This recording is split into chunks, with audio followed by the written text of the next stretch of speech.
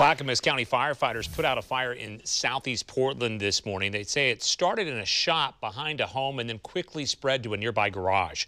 Fire crews arrived to southeast Fern Street and Hazel at about 11:30 this morning. They say firefighters had to stop the fire from spreading before crews could go in and search both buildings for people.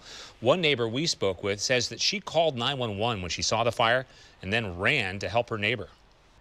I grabbed my neighbor's hose and went into his backyard and started spraying down the side of his house.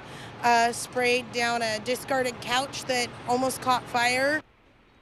No one was hurt in the fire. Investigators did remain on the scene. The cause is still under investigation.